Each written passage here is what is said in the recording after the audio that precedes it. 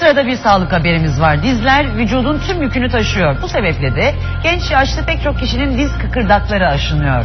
Diz kıkırdak aşınması ameliyatlarında Türkiye'de yeni uygulanmaya başlanan makoplasti yöntemi yüz güldürüyor. Yönteme ameliyat olanlardan biri de yöntemle ameliyat olanlardan biri de eski Türkiye Büyük Millet Meclisi başkanlarından Mustafa Kalemli. Kıkırdak aşınması, halk arasındaki deyimle kireçlenme çok yaygın görülen bir problem. Dizlerde ağrıya, merdiven inip çıkmaya, yürümeye engel olan bu sorun çoğu zaman protez takılmasını gerektiriyor. Makoplasti yöntemi protez ameliyatlarından sonra hastaların kısa sürede dizlerini kullanmalarına imkan sağlıyor. Çok daha kısa bir kesiyle giriyoruz e, dize ve bu kesiden çok daha az kemik çıkartarak e, ve çok daha az yumuşak doku çıkartarak bu ameliyatı yapıyoruz. Diz eskisi gibi doğal hareket edebiliyor, daha fazla bükülebiliyor. Hastalar daha çabuk iyileşebiliyor. ve Dizlerini daha fazla bükebiliyorlar. Hatta eskisi gibi tam olarak bükmeleri de söz konusu. Bu da hastaların için gerçekten çok büyük bir avantaj. Evet.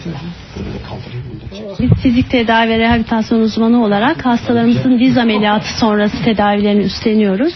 Bu yöntemle yapılan ameliyatlardan sonra ağrının az olması ve dizin çok çabuk hareketliliğine kavuşması bizim için çok büyük bir avantaj.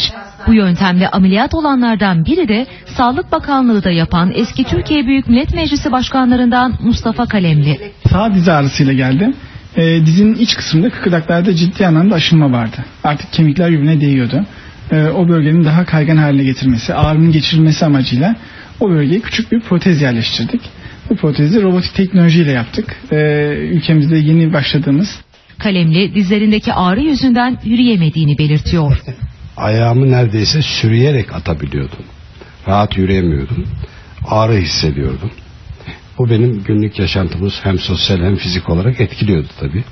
Ameliyattan hemen sonraysa dizini kullanmaya başladı. Ameliyatımın ikinci günü ayağa kaldırdı beni. Ameliyatımın ikinci günü dizim neredeyse 90 dereceye yakın kıvrılma durumuna geldi.